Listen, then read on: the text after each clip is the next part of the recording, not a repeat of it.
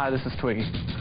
I would like to pay homage to one of heavy metal's greatest Antichrist superstars, and that is Eddie, the skeleton located on all the Iron Maiden album covers. Eddie started out as a skeleton, and they took his brain out, and he became a mummy. Next thing you know, he's a spaceman. I don't know what happened to him since then, but you should check it out. Because without his the image of Eddie, there would be no, um, well, there'd be no me, there would be no Jamiroquai. So Jamiroquai should really, you should, you know, be thankful for Eddie. And there'd be no Puff Daddy or Lionel Richie. Lionel Richie would not be able to dance on the ceiling without Eddie. So go out and get, if you can get vinyl, get vinyl. All the Iron Maiden album covers. You can throw the records away. Don't worry about the music. But just hang them on your wall because it'll make your life a lot better.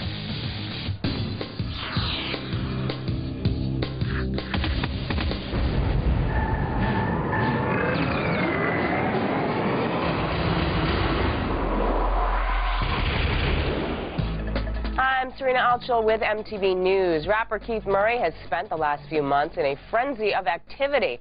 In addition to the May release of the El Nino album from Def Squad, which featured Redman and Erick Sermon along with Murray, he's also been recording his third solo album entitled It's a Beautiful Thing. And recently he's been shooting some videos as well. So why all the rush? Well, Murray is looking at three years in prison on a 1996 assault conviction, and his appeals are running out. And because, as Murray told us, being part of a group and hitting the road this summer helped to motivate him to work on his own record. The Def Squad album was a stepping stone just to help me get to where I wanted to be. And doing the tour, during the tour, you know, seeing people all around the world again have made me realize where I need to be as a solo artist. It was a lot of pressure off me with Eric and Redman having to hold up their part, you know what I mean?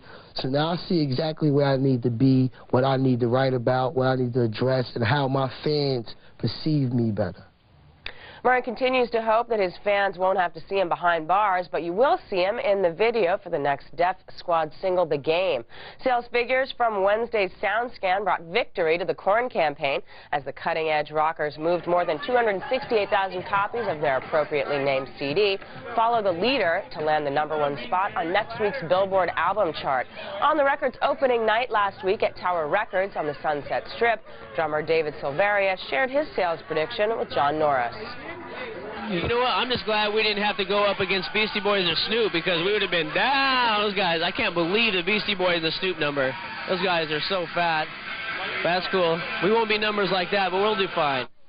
Indeed, Korn's opening week sales were less than half of those of the Beasties or Snoop Dogg. Another artist who stands to cause an even bigger scene with his new record release next month is Marilyn Manson.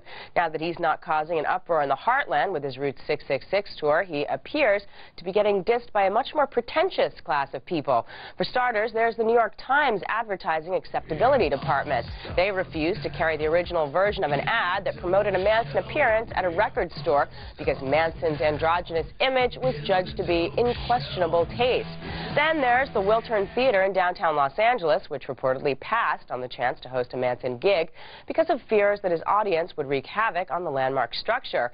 Worst of all, the New York outlet of clothing designer Dolce & Gabbana declined to schedule a private sitting for Manson, as one D&G rep asserted that Manson did not fit that store's image.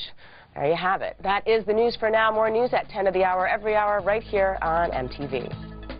MTV News. You hear it first.